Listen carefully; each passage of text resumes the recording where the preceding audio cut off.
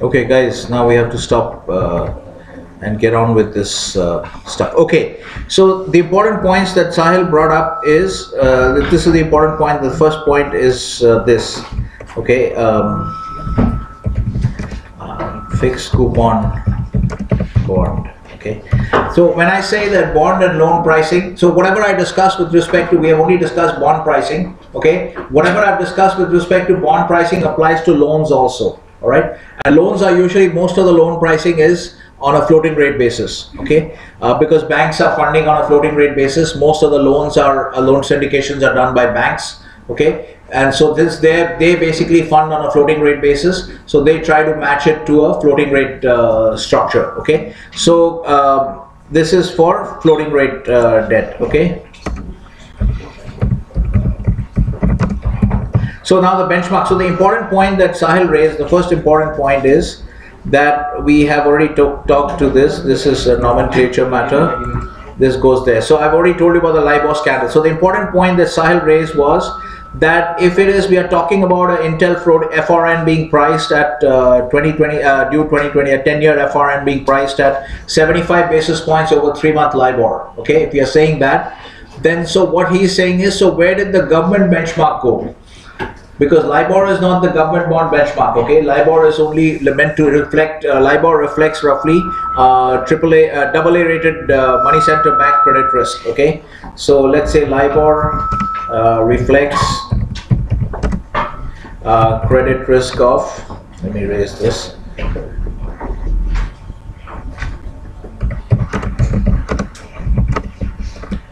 Double A rated banks. Okay, so LIBOR reflects a double A credit risk. Okay, so what if the question that uh, Sahil are asking is if you're saying that an FRN is being priced at 75 BP over three month LIBOR, then what happened to that government bond benchmark? Okay, so the point is that wh- where do you think the government bond uh, the the uh, for three month LIBOR? Okay, for the same period on the yield curve, the same point on the yield curve, there is a three month maturity.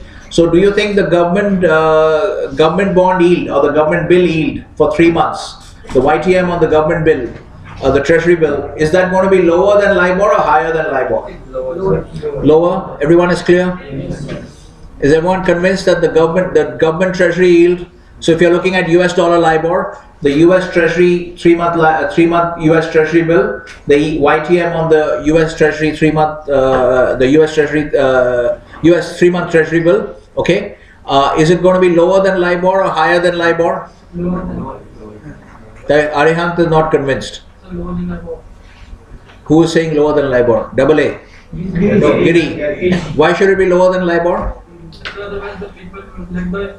No, use the mic. Give him the mic quickly. Practice quick, fast baton relay techniques and pass the mic. Yes.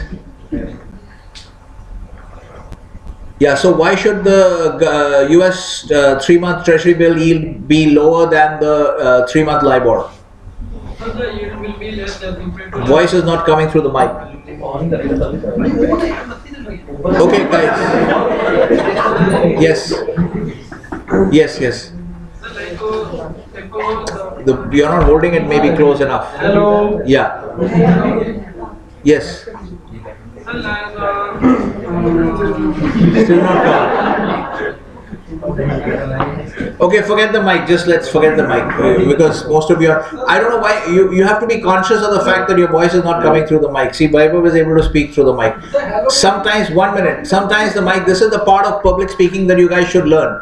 All mics are not going to be configured the same way. You need to be conscious of whether your voice is coming through. If it's not coming, then hold it closer to your mouth. Otherwise, sometimes push it away. These adjustments you have to do on your own. Okay. So this is all part of your training. Okay, go ahead. so the LIBOR will be higher as compared to the US government because Yes. If the like the government yields are higher, then the investors who are seeking to invest their money, they will invest in the bonds in- in- instead of that LIBOR. So the private investors who are uh, who are taking money from with the, as with the benchmark of LIBOR, then they will not be able to do that because Yeah, well, you, what you mean is not private investors, you mean issuers. yes the issue. is- Okay, so what he's saying, okay, your answer is, I understand what you're saying, that's a consequence of this being higher, but the, uh, the correct, correct way to answer this obviously is that because the government's credit risk is obviously much lower than any private entity, So if a private entity is borrowing at three month LIBOR at whatever percentage X, okay. So if three month LIBOR is X percent, then the uh, the government treasury bill yield has to be lower than X percent because the risk is lower, the default risk is lower on the government bond yield, uh, the government bill yield on the government treasury bill so therefore, uh, the the return also will be lower. That is how you should answer it as a finance student. So you have to make you have to make this connection between risk and return. You have to say that private sector uh, double A rated banks are borrowing at these are private sector banks that are borrowing at LIBOR. And so since the the, the government is a better credit risk than any other uh, private company, uh, private entity. So therefore, the government's uh, risk being lower, okay. Therefore, their return on a government debt security should also be lower. This is clear? That's how you should answer it, okay, logically. Okay, so LIBOR reflects credit risk of a double of double A rated banks. So the the um, I'm not going to write government treasury all the time. Treasury is understood to imply government. Okay, treasury bill yield. I'm just going to write YTM for yield. Okay, will be lower than LIBOR. Okay, there have been in the in the in the aftermath of the uh, GFC and the abnormal monetary policy that has been followed, there have been some freak occasions where actually not at the at the in the money markets, but in the bond markets there have been some freak occasions where actually private sector, I mean interest rate swap rates have uh, gone below, which is essentially a double A rated credit spread has gone below the uh, the total cost has gone below the uh, government treasury bill okay, uh, government treasury bond rate. But those, that, those are freak uh, events, but theoretically they should always be lower than LIBOR, okay, because you understand, you understand why, okay, risk return. I'm just going to write risk return here so that you remember the logic, all right.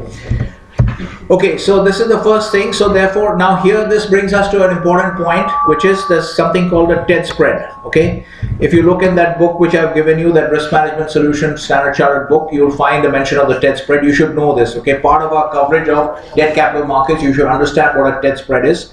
A TED spread essentially is the TED stands for Treasury Euro Dollar spread. Okay. Okay Treasury euro dollar spread. This is a the TED spread stands for, uh, let me write it here, okay.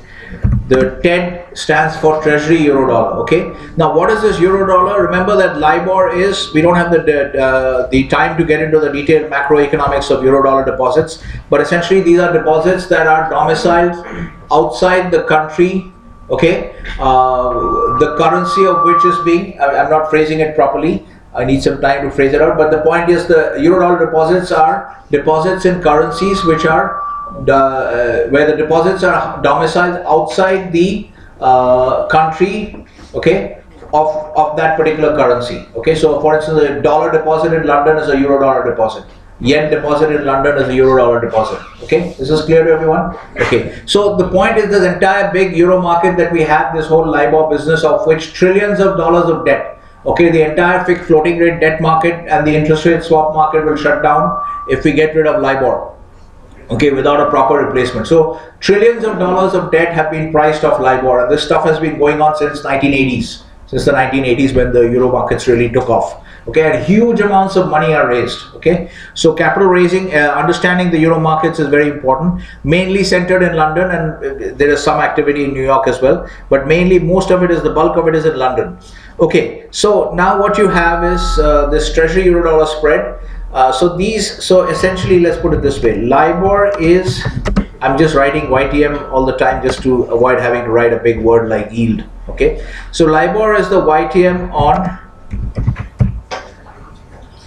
euro dollar deposits okay? All right? So therefore when we talk about libor it's the interest rate that is being paid on euro dollar deposits. So that means essentially a three month libor three month us dollar libor is a uh, the three month interest rate on a us dollar euro dollar deposit in in uh, in uh, in london. Okay. Now remember when i when i taught when i taught you guys the initial taxonomy part of, finan of financial markets I must have mentioned, I think you've forgotten, but I would have mentioned that whenever you're referring to this thing here, if you're referring to um, this, if you're referring to this thing here, this, okay, if you're referring to this Euro USD, this is spot Euro USD, spot FX, okay. So that's why I told you that you should always never say euro dollar. If you're referring to the foreign exchange markets, don't don't just say euro dollar. Say euro dollar FX. Okay, that is meant to distinguish, uh, make sure that you're talking. I mean, make it clear that you're talking about the foreign exchange markets. Because otherwise, if you say euro dollar, you could be referring to euro dollar deposits okay? And there's a very important interest rate the most important probably one of the two most important interest rate futures contracts which is the futures on the three month euro dollar deposits okay? So there is a very active treasury uh, uh, futures market not not treasury market but a futures market in in, in the us okay? The, in the on the cme there's a contract called the three month euro dollar futures contract okay? Which is where you bet on the level of the three month euro dollar deposit Okay, so if you have a three month euro dollar futures contract trading for the March maturity, say a particular maturity in March, what you're betting on through that futures contract is what will be the fixing for three month uh, uh, uh, euro dollar LIBOR in London on the 15th of March. Are you following what I'm saying? Yes, okay, so there is a very there are some very important markets, which is the euro dollar deposit market in London. There is the very important three month euro dollar depo uh, deposit futures contract in the US so these are meant to be distinct. These are the, you have to mention uh, when you discuss something like when you use a word like euro dollar, you have to be very clear about what you're talking about. Okay. So therefore, to avoid confusion with these other interest rate uh, contracts, which are also called euro dollars. Okay. When you talk about the foreign exchange markets, you should always say euro dollar FX. Are you following what I'm saying? Why I'm saying this? Okay. All right. So. Um, where are we? Now so libor is the ytm on the euro dollar deposit. Now the TED spread okay is that this is a term that you need to be aware of. You can refer to the i'm just writing this rms okay? Uh, you can find out where the page is which page number it is. You can do some if you even if you do some searching in it uh, it'll be good for you uh, because all those instruments are still valid. Everything that has been described in that book okay is still valid. Okay now the libor is the, so, so here what we need to understand is there is uh, another aspect that we have to look at which is the interest rate swap market okay? What I will do here is that um, okay so let's put this as the so the TED spread is basically a general uh, term for any kind of difference okay? So a TED spread first let me write it this way that a TED spread is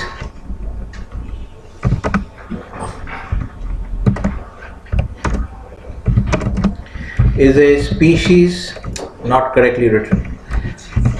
Okay is a species of credit spread. Do you understand that? Based on what I have told you now as a uh, uh, based on what I've told you as to what the TED spread is the TED spread is this difference between the euro dollar interest rate okay uh, the interest rate on euro dollar deposits okay and uh, the US treasury okay yield.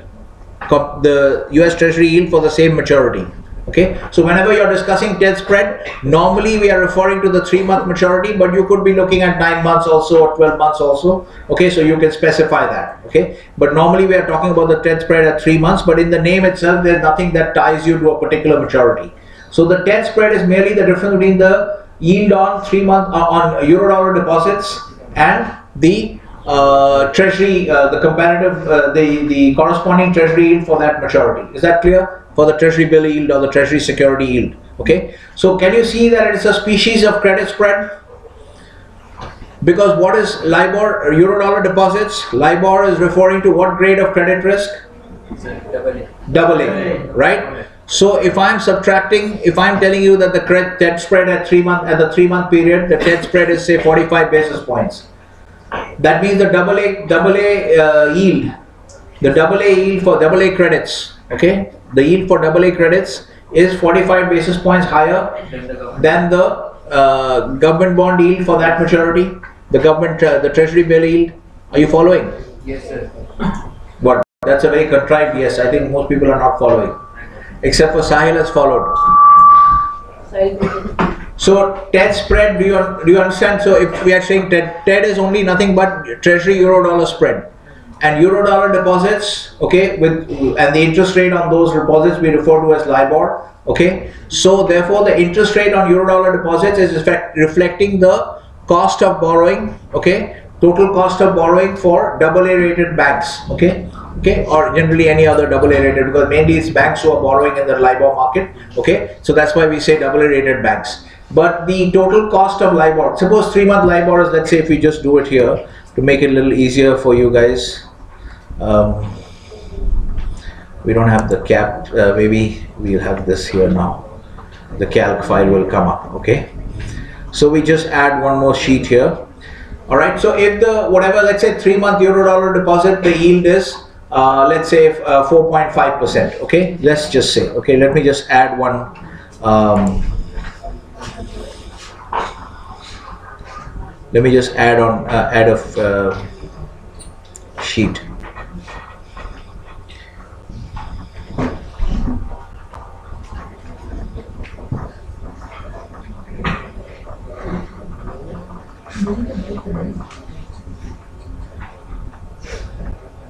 Is it ready now? So let's just call it TED. All right, so it's let's say the three month LIBOR is, I'll make this. Okay, so let's say this is 4.5%, okay? And let's say that uh, three month bill is is let's say 3.75% okay? So the TED spread is is what is it? Yeah. So the 4.5 minus the 3.75 this is our TED spread okay? So what have we done? How did we derive the TED spread? If you remember when we were looking at these uh, when we were looking at these um, uh, other credit spread charts here okay when we are looking at this BAA credit spread chart how this is the direct plot of the spread okay 2.3 the current value means B BAA how did they derive this data series this current value of 2.3 that you're seeing how did they derive this data data series they looked at the average yield on the BAA bonds. Okay, understand how this series is derived. Okay, the average they looked at the average yield for BAA bonds, and then from that they just uh, for 10 years. This is the 10 year. Yeah, this is 10 years. Okay, so this is a plot of the BAA credit spread. Okay, how did they how did they derive this uh, data for this uh, series? They looked at the average yield for 10 year BAA corporate bonds and then from that they dis, uh, deducted the yield on the 10 year treasury note for each period. Is this clear? That's how they derived it. Okay, so this is what time series data or cross sectional data? Time series. right? So they have plotted it over a period of time, that same variable. So that means every day they did this exercise and they plotted the data and then they just joined the dots and got this line. Okay, so this is the way you derive a credit spread. Sorry? Yeah, that's what the data. What that's what the narration says, right? What does it say? Right. So when they're deriving and spread, that means obviously what they have not mentioned, they have taken the average yield on 10-year corporate bond, but that's obvious. You would not take five-year corporate bonds and from that you would not deduct 10-year treasuries and derive a credit spread. You have to always work on the same point of the curve. Okay, that you have to be very clear about. Like you can't deduct you can't take an amount in Japanese yen and deduct it from a amount in Indian rupees. Yes. Okay, so you have to be on the same point on the curve. Obviously, that's understood. So 10-year corporate bonds minus YTM on 10-year corporate bonds minus YTM on 10-year treasuries. Yes, that's how you got the credit spread? Yes. Okay, so what did we do here? Did we not do the same thing? Yes. What did we do? We took the uh, YTM on 3-month LIBOR and then we, uh, from 3-month LIBOR, we uh, deducted the YTM on the uh, three month treasury bill. So what are we doing? We are taking a, uh, a non-sovereign uh, cost of debt. We are taking a non-sovereign cost of debt and from that we are deducting the sovereign cost of debt. That's how we got the credit spread. So that's why I'm saying that now this particular spread is called a TED spread because one of the legs is a uh, euro dollar deposit. Is this clear? Okay. So that's why I'm saying a TED. That's why now you understand my statement that a TED spread is a is a species of um, uh, credit spread. Is this clear now? We always like to use. I like to. It's kind of maybe it gets a little hackneyed, but it's important to use this uh, language. Uh, species and genus so that you have a very good understanding of uh, because a lot of the stuff we know we think we have just taught you and you remembered it and you understood it but then we find that you have not understood a lot of basic stuff. So it, there's no harm in rehashing stuff okay? All right so a TED spread is a species of credit spread okay? Now while you're doing TED spreads it's important as a part of your debt capital markets understanding to bring in the idea of an interest rate swap, although we are supposed to be doing swaps at a later date as a, as a big instrument class, because there are many other categories of swap, okay? So, uh, but let's see if we can get a, um, ideally, let me try and look at, okay, so what you need to understand is that the, this euro dollar deposit, uh, this double A, uh, the double A uh, credit spread, okay? Now typically because euro dollar deposits are only from uh, let's say euro dollar deposits are from 1 month to 12 months. Okay. Now suppose you want to know what is the uh, double A what is the double A cost of borrowing okay beyond 12 months okay can you can you uh, construct a double A uh, credit spread curve beyond 12 months? Because euro dollar deposits are actually only for one month, one month to 12 months. Okay, because euro dollar deposits are money market instruments. Uh, they are a money market instrument. So what is one of the features of a money market instrument? Initial maturity. Initial maturity has to be less than or equal. Actually, we should say less than or equal to. Okay, because you can have one year bills okay those are considered as one money market. So less than or equal to right? So euro dollar deposits that strict euro dollar deposit curve will stop at 12 months. Okay? Now what if you need to know what is the equivalent cost of borrowing if i want to go further down the curve if i want to go to longer maturities like 5 years 10 years etc okay? Now let's here try to uh, let me try to find out um, we have to spend a little bit of time i think to try and okay just give me a little bit of time. Let me just uh, detach from this for a while and look for um, this is not um, the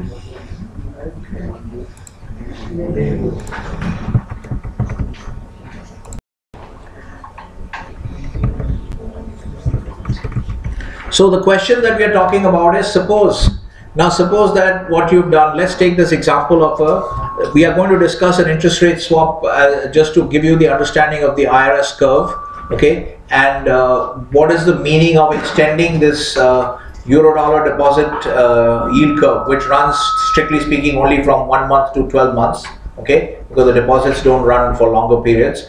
Can you extend this curve and give me double A rated credit uh, cost of borrowing for further out in the curve, like two years, five years, 10 years, okay? So the answer to that is that when you want to extend the euro dollar deposit uh, yield curve, okay, the correct thing to look at is the interest rate, the IRS curve, okay, the IRS uh, uh, yield curve. So we'll just explain to you, for that you need to understand what the IRS is, okay? So although IRS should be studied in the swaps module along with, there are many other kinds of swaps. But I'll just give you a brief idea to understand this and then you'll get a sense of the interest rate uh, risk management aspect as well. Now suppose that, uh, where did we discuss? Now suppose Intel has issued this FRN. Now how, let's say this is a 10 year FRN because we're talking about 2016 and this is 2026. This is clear? Okay, so now um, let me find this uh, interest rate swap part here somewhere.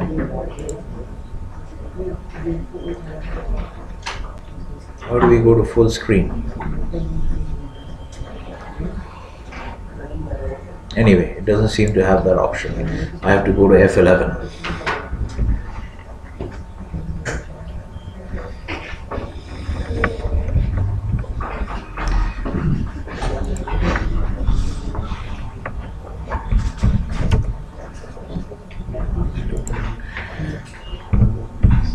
Yes. Who is it? Okay, okay. Just find out who's standing at the gate. What do they want? Maybe Lakshay, you go. We'll find out what happened. Okay, let him give it to Rajesh. I'll just tell him to give it to Rajesh. Okay. Yeah. Okay, all right. Now let's see where the interest rate swaps are. Okay. So interest rate and currency swaps? Page 8 okay. Okay so let's go to page 8 and see.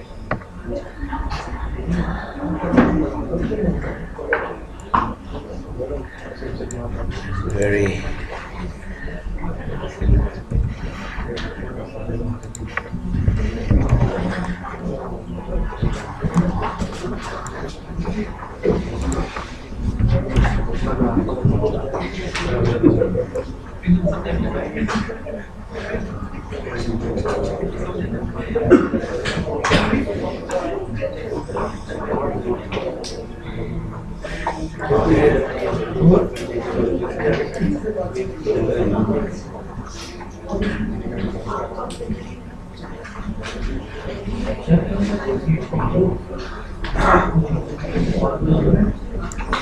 Okay, guys, let's look at this. Let's look at this one example.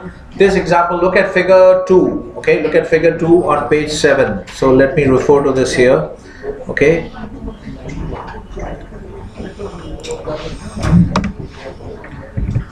What is the question is what is the equivalent of what is the equivalent of the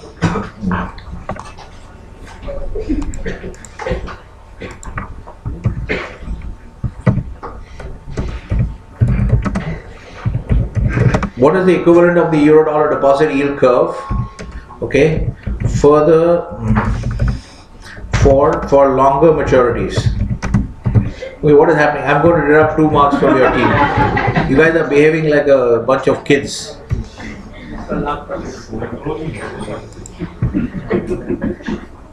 Now we have to move. Have we moved uh, Goyal to your team? Yeah.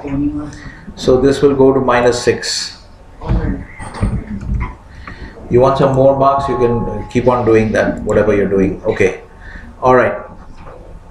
Yeah, here. All right. So, so the question is try to understand this question. Now you've understood what the euro dollar deposit yield curve is because you have these euro dollar deposits in various currencies which are being uh, fixed every day for different maturities. Okay, you take US dollars, you take uh, Swiss francs, etc., which are being fixed one month, two months, three months. Every day they fix it at 11 a.m. Okay, in London. So now you get that you get those uh, LIBOR rates for one month to 12 months. Okay, because these are money market instruments. Now the question is, what if uh, somebody wants to know essentially what the Intel Treasury is concerned about is they've borrowed through an FRN uh, for 10 years. Okay, so the FRN is linked to six uh, three month LIBOR. Okay, and uh, they have borrowed with that F using that FRN for 10 years. Now they are a little bit concerned that uh, this what if three month LIBOR starts rising rapidly? Okay, because right now maybe three month LIBOR is one and a half percent. Okay, uh, but maybe in, in two years time it might have risen to about four and a half percent. So all my, my all my cash flow budgeting for my project which I'm financing with this loan, everything is going to go haywire because my cost of debt is going to shoot up. Okay, so I have a concern there. So I, I don't want to remain in fixed rate and floating rate debt. If you remember your corporate treasury risk management case which we did, there was a there was an aspect of that where the the uh, Australian dollar loan was in floating rates. Yes. Remember, we never got around to discussing that Yes, because uh, I had not had the time to discuss interest rate risk management strategies with you. Okay, so if you look at uh, this, if you want to look at a comprehensive view of interest rate risk management and foreign exchange risk management, you can just cover both the sections of this book. You'll get a com- very comprehensive overview, and that is pretty comprehensive now because even now, not much has changed in terms of range of instruments. Okay, only one instrument is not covered there. That is a CDS which is anyway that was not part of foreign exchange or interest. Uh, it, well, CDS is within interest rates, so that CDS is not covered. Credit default swaps. Okay, because at that time in 1993 when I was writing that, there was no active market in CDS. CDS market started only in the late 90s and 2000s. Okay. All right. So is this question clear to you? What is the concern? We are trying to essentially, we are now, Intel has borrowed at a, using an FRN at 75 basis point, with just uh, 75 basis points over LIBOR, over three month LIBOR, which is the most common floating rate benchmark in international capital markets. Okay. Now they are looking for an equivalent kind of rate further down the line because their loan is for 10 years. Okay? And they are concerned that in floating rates might rise so what can they do? Okay? So what one of the things that they can do and this will also help us to understand the extension of the euro dollar deposit yield curve. Okay? Uh, further down the uh, for, for longer maturities. Okay? What is the so the question is what is the equivalent of the euro dollar deposit yield curve for longer maturities? Okay? And the answer is of course the IRS curve. And we are going to just see what the IRS curve is. IRS stands for interest rate swap. Euro dollar deposit yield curve LIBOR. Yes, so the euro dollar deposit yield curve is the LIBOR rates for all the. So somebody asks you what is the euro dollar deposit yield show? Plot the euro dollar deposit yield curve for Swiss francs for today. For today, okay? Because remember, yield curve is a what kind of uh, chart? Is it a time series chart or a uh, cross sectional chart? Cross sectional. Who said time series? Somebody here said time series. Any yield curve uh, is always a cross-section. cross-sectional data chart. Okay, it is a snapshot at a point of time. So if I ask you what is the U.S. Treasury yield curve for last night, you go to the U.S. Treasury yield curve, uh, the U.S. Treasury homepage, and then you find out what the closing rates for last night were for all those different maturities, and then you can join the points and construct the curve. Okay, so therefore, uh, the yeah, so it's a good question that helps you to cl- clarify your understanding. A euro dollar deposit yield curve. If I ask you to plot the euro dollar deposit yield curve for Japanese yen for today, what you'll go is you'll just what you're going to do is you're just going to wait till the LIBOR fixing in London today and see what was the Japanese yen euro dollar deposit for one month, what was the rate, what was the rate for three months, what was the rate for nine months, what was the rate for 12 months, and then you join the plots, and that is your euro dollar deposit yield curve for Japanese yen for today. So for any cross sectional data chart, you have to uh, essentially show which variable or variables are being plotted. You have to specify that. That's why I said Japanese yen deposits. Okay, not Swiss franc deposits or US dollar, or Japanese yen deposits. You have to specify that, and you have to specify the date on which the snapshot is being taken, the point in time at which the snapshot is being taken. Is this clear? Yes. Okay, so as the IRS uh, is uh, the IRS stands for interest rate swap. The IRS curve is what we need to be aware of because this is all part of your understanding of uh, debt capital markets. Because the understanding of interest rate swaps or all kinds of swaps actually, these are uh, these these swaps are, are what I've called capital market swaps because they are all intimately connected with capital market issues. Okay, so that's why they are called capital market swaps. So let's look at what is an IRS. Look at the Intel decision problem. Okay. Now look at figure 2. So figure 2 on page 7, okay? Let's bring back this uh, information from above so we know which one we are talking about.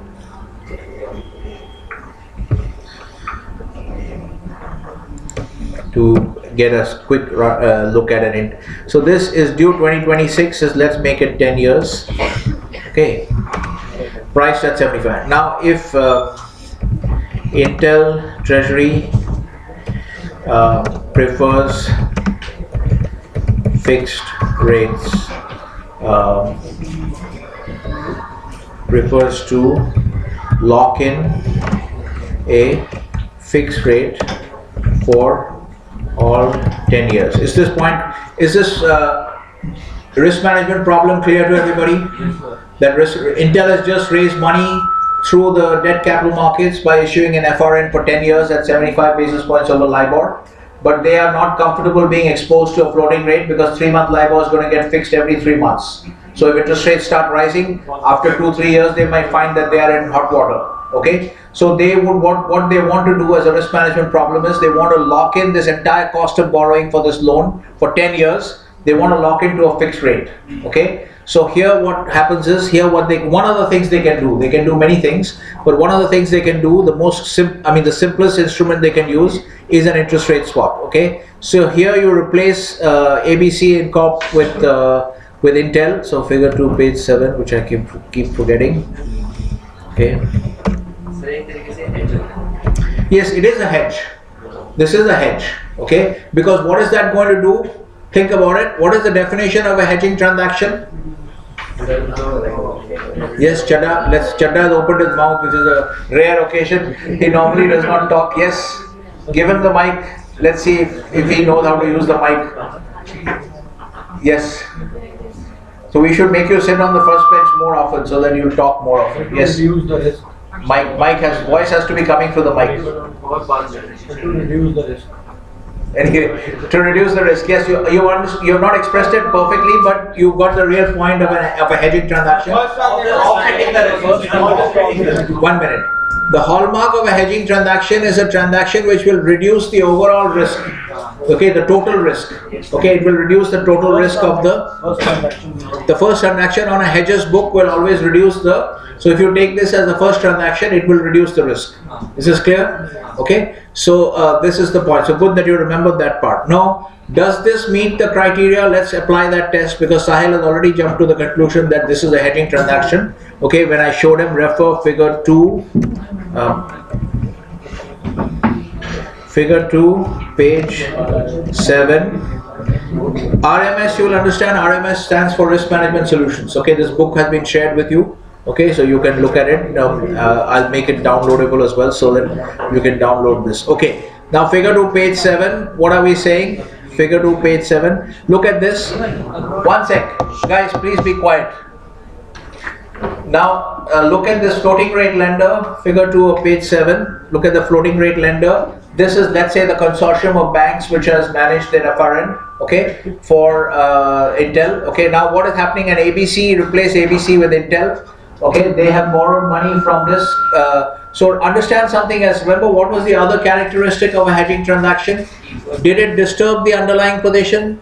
No, sir. No, it is sitting on as a parallel uh, uh, transaction. It is shadowing the underlying position book, so you don't disturb the underlying positions. Okay, that is another feature of a hedging transaction.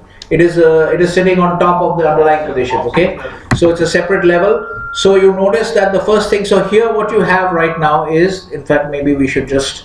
Um, yeah, so what you have figure 1 and figure 2, we can see them together, okay? So look at this, the cash flow, can you see the labeling there? Cash flow for unhedged exposure? yes Okay, so this is the original ti- uh, period where they have taken the, FR, they have issued the FRN. Okay, so this 6 month LIBOR, let's replace it mentally with 3 month LIBOR. Because in our example is 3 month LIBOR, it doesn't really matter. Even 6 month LIBOR is risky because it can keep on changing. What is this uh, transaction you're doing? Is this a hedging transaction? What is this transaction? Then I'll deduct marks for you guys also. Because we don't want to see all this uh, activity. No, there is no pen. This is not an exam. Which team is this? So this goes to minus 2 and uh, one sec. Minus 6. What happened here?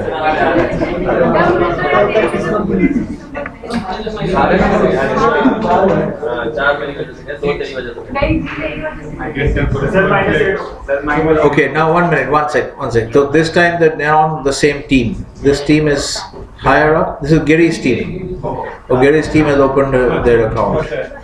Okay. All right. Okay. Okay, guys, quiet. Now, cat, where were we? So, figure one and two.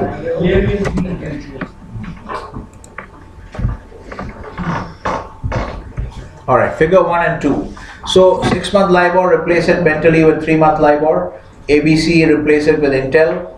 And the floating rate lender is the consortium that has lent, uh, that has bought their FRNs. Okay, normally FRNs would be sold to investors. Okay, this is not a this is not a loan actually. It's a it's a it's a debt capital market issue. So uh, it's bought by a bunch of. So let's think of them as the floating rate lenders, the, the the group of investors that has bought the FRN. So here in the in figure one, can everyone see figure one? Okay, so in figure one, Intel is exposed to floating rate risk because this loan is going to run for 10 years and three month LIBOR is going to reset every three months. So you don't know what the next three months, uh, the next quarter's interest rate is going to be. It could be anything, whatever happens to interest rates. Okay, so therefore they are not happy with this figure one situation because they fear that their total interest cost might go up dramatically. So now they want to hedge it. They want to hedge this exposure. Okay, so because anytime you move from, because the other characteristic of hedging is that you end up with uh, certain cash flows. Okay, you end up with certain, whenever you go from uncertain cash flows to certain cash flows, it is a hedging transaction. Are you reducing your risk or not? Yes, sir. Okay, whenever you go from uncertain cash flows to certain cash flows, Arihant is not convinced, nor is Vibhu. Anytime you go from uncertain, in figure one, are the cash flows uncertain over 10 years? Are the debt servicing cash, the debt servicing cost over 10 years, is it uncertain, Vibhu, in figure one? Is it uncertain or certain? Uncertain, right? Because this floating rate will reset every three months. Although we are looking at six month LIBOR, we want to change it to three month, okay? So, uh, so let's uh, just read that as three months, okay? So it is uncertain because every three months it's going to reset. You don't know what it's going to be. So another characteristic of a hedging transaction is anytime you uh, convert from, uh, you change from uncertain cash flows to certain cash flows, you are uh, reducing the risk, okay? Because risk is essentially associated with uncertainty, okay? All right. So therefore, one of the things they can do is this, this particular transaction will be called an interest rate swap, okay? The second, can everyone see figure two? Okay, all right. So figure two, what happens is now typically most interest, the standard quotation of it, the figure two, the additional transaction that you see between SCB, okay, and uh, ABC, the additional transaction that you see, that transaction is the interest rate swap. So make, make sure that you understand what an important instrument to understand. Okay, very uh, very high volume of interest rate transact interest rate swap transactions are done all over the world every year. This has almost become a commoditized uh, product. Okay, in the interest rate derivative markets. Okay, this is a derivative transaction. Okay, so the one that you see, the two cash flows that you see, they are swapping cash flows. A swap, why is this called a cash swap? Because a swap means an exchange. Okay, I swap my phone with yours, which means you give me your phone, I give you my phone. That's what a swap means, right? So here, interest rate swap. Okay, is this clear? Okay, interest rate swap is uh, swapping of cash flows. What is happening is one party. So ABC, you can see what's happening on the on the on the screen, right? Everyone can see what's going on. Okay. Now, can you see why this acts as a hedge? And what is the net cost of debt for uh, ABC after doing the do- doing the swap? What is the net cost of debt? Net means uh, including now including both the underlying position and the hedge position. Okay, so doing the swap when they do the swap, that's a hedge transaction. Okay, and now this position that they have in the swap, that's a hedge position where they are paying they are paying the fixed rate. Okay, so in the language of swaps, uh, we just say paying, paying and receiving. That is automatically meant to refer to the fixed rate. So in the swaps market, no one is going to say we are paying the fixed rate. People will just say we are paying, or they'll just say we are receiving. That is meant to refer to the fixed rate. Okay, so if someone in the swaps market says we are receiving on a swap, that means that they are receiving the fixed rate in the swap. Okay, in the swap there will be two two rates. In a simple interest rate, this is called a fixed for floating interest rate swap. Okay, floating to fixed or whatever it is, fixed to floating, floating to fixed, depending on where you were originally. Okay, so in the swaps rate, in the swaps market, this is called here. What we say is ABC in Figure Two has decided to pay on an IRS. To pay on an IRS swaps market lingo automatically means that they are paying the fixed rate. Okay, and they are automatically they're, they're paying the fixed rate in a fixed floating IRS. If they're paying the fixed rate in a fixed floating IRS, that means they have to be receiving the uh, floating rate. Okay, just like in a base asset, terms asset, if I'm selling the base asset, automatically that means that I'm buying the base, uh, they're buying the terms asset, right? So in a fixed for floating interest rate swap, just make sure you understand this transaction. So the transaction that you should study on your own is this. We have explained there are many categories of swaps.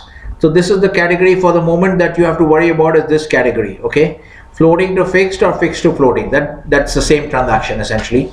That only this is only referring to what is your initial underlying position, okay? So floating to fixed or fixed to floating IRS, okay? This transaction you have to make sure you understand, okay? What happened? Oh, yeah, it's already 15 minutes to go. Okay, all right, leave. Okay. Okay, so this deal is please make sure that you, you arrange this between yourselves.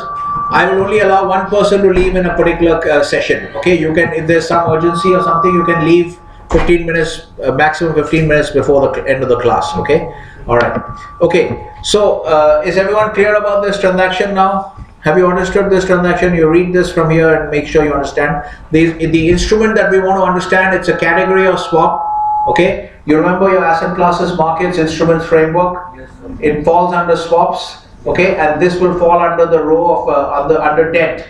The asset class is debt and the instrument is swap. Okay, so this is an interest rate swap. Okay, it'll be in that box. Okay, so there are many other types of interest rate swaps, but at the moment we are just looking at this uh, kind of uh, interest rate swap, the simplest category. So ABC has done a simple IRS, fixed for floating IRS with SCB. Is this clear? So what is the total after doing the swap? What is the net cost of debt, guy, for uh, for uh, ABC?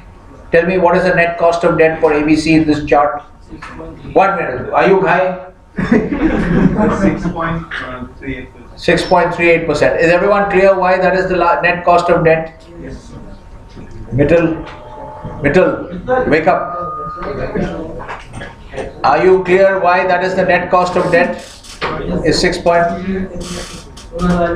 sorry? You didn't hear, but did you hear what Guy said? Okay, good. Okay, Gupta? Gupta means I only call Akshat, Akshat I call Akshat, okay? No, him I call Rahul, okay?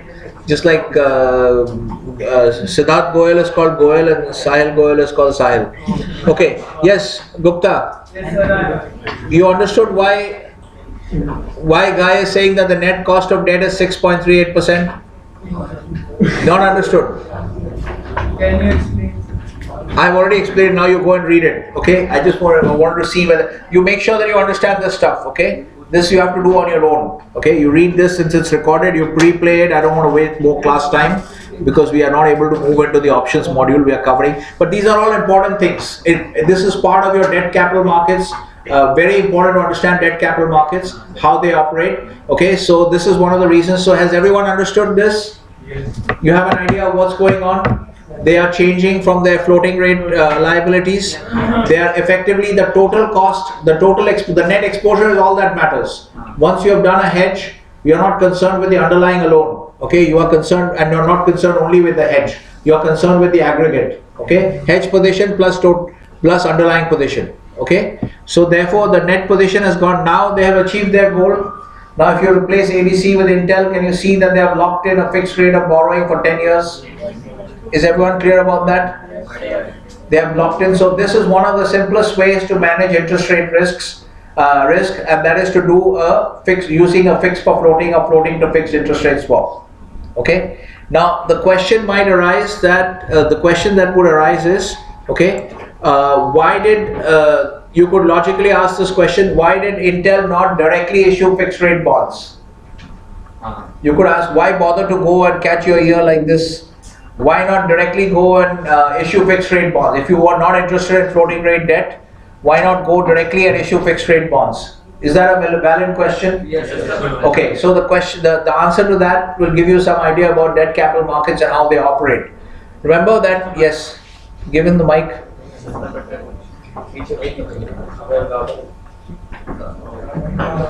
Please, uh, hello, hello. Yeah.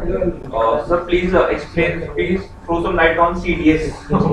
CDS we will not do now because CDS is a totally different category of instruments. 3D is referring to credit default swaps. Okay, so I maybe I'll give you some material because we won't have time to refer to credit. One thing you can understand about CDS, a CDS is not a swap in the sense that this is a swap. So that is actually bad terminology. CDS is bad terminology the market has come up with.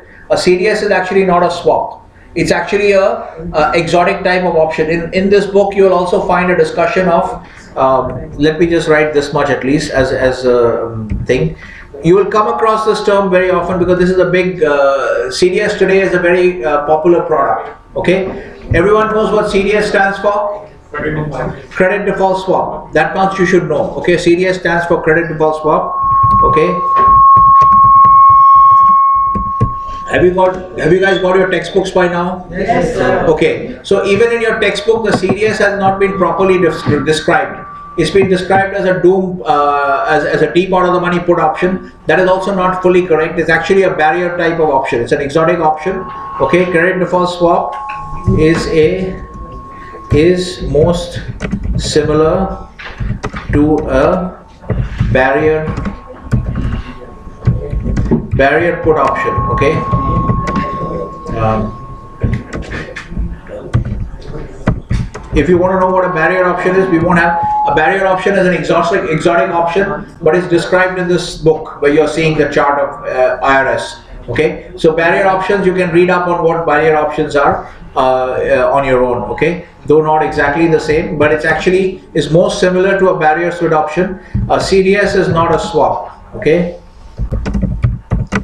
Not a swap uh, as in IRS or FX swap. Okay, the two categories of swaps that we are going to uh, study is basically uh, um, the capital market swaps, such as the IRS, and the foreign exchange swap. Okay, which is basically nothing but it's just like a repo. It's a intra-market uh, spread. Okay, so these are the two categories. These uh, these these instruments have been in place for many years 20 30 years in the financial markets. So when they came up with a new instrument called a cds in 2000 early 2000 they should not have used the word swap okay because these the word swap already had a very specific meaning okay? So it's bad terminology but the market does this a lot. So remember that cds i'll only tell you this much at this point and the definition in the book is also not correct. They've called it a deep out of the money put option. It's it can be made more specific than that. It's actually a barrier put option okay? And you can read up on barrier options in this book. Okay so now point is that this uh, uh, irs they've done this irs and come up with this situation. Everybody's understood this situation. Okay so essentially now one minute. So let's say uh, now intel is slightly worse than a double a credit because they had to pay 75 basis points over libor. If they were a pure double a double a credit they would have paid flat libor. Okay that's called libor flat when the basis point margin is zero if you borrow at li- like these guys are borrowing here, ABC Incorporated is a double A rated credit because they borrowed at LIBOR flat. Are you following what is meant by LIBOR flat? LIBOR flat means there is no interest margin abo- above LIBOR. Exact LIBOR. Fixed whatever six month LIBOR is, that's all they will pay. That means that they are a double A credit. But Intel has paid 75 basis points over LIBOR, that means they are a uh, worse than double A credit. We don't know exactly what the rating is, but they are worse than double A. Now the question is, Sir, there can be any other reason also for paying the higher. no, the only other reason is the credit risk. The only reason is the credit risk. Okay, so that is the pricing of that reflects the pricing of their credit risk for 10 years. Okay, all right. Now what happens is look at this. This 6.38 which is called the interest rate swap rate. Okay, so the normal mature normal fic, uh, normally interest rate uh, IRS uh, rates are quoted against three month LIBOR. Okay, this transaction is against six month LIBOR. So now just look at the IRS rates. So this 6.38 is the IRS rate. So can you see that it is the equivalent? Okay, if you assume that let's forget the Intel example. If you assume that ABC had borrowed at we are talking about ABC. So can you see that this 6.38 is like a 10 year LIBOR rate? No, no. What I'm saying is, assuming that this ABC loan is also for 10 years. Okay, what have I written here? Then there must be some mention of the year maturity here. Um, five year. Okay, this is a five year example that I've given you. Okay, so here can you see that if they're borrowed for five, if they've done a five year IRS at 6.38 percent. Okay, so can you see that earlier they had borrowed at six month LIBOR. Now they have converted that into a uh, five year interest rate of 6.38 percent. Can you see that therefore the, in this case the 6.38 is like the 5 year LIBOR rate? Yes. Are you following what I'm saying? Yes. Because I've been able to swap my liability pure from flat LIBOR to a 6.38 rate, which means another way of putting this is to say that the 6.38 is like a 5 year LIBOR rate. The 5 year equivalent of LIBOR because earlier I was borrowing 6 month LIBOR flat and now I just converted it into 6.38 and that's all I had to pay. I might have had to pay seven and a half if that was the rate, but in this case the market rate was 6.38. Is everyone following this point? It is effectively like a five year. I was borrowing in LIBOR in the money market. The equivalent rate for LIBOR is for five years is 6.38. Okay, so now these interest rate swaps, how they're actually, how did this 6.38 rate come about? How did the 6.38 rate rate come about? Let's look at the quotation for interest rate swaps. Class is over.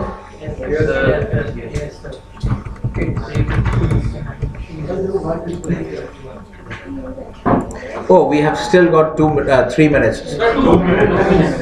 We can finish this job, one minute. You can see how many types of swaps exist. Okay, guys, now, let's, let's finish this in two minutes, then you can hear the video, uh, since it's recorded, you can listen to this. Understand this concept. We are trying to, we were trying to answer this question of how, what is the equivalent of the uh, euro dollar deposit yield curve beyond the 12 month period. Is that right?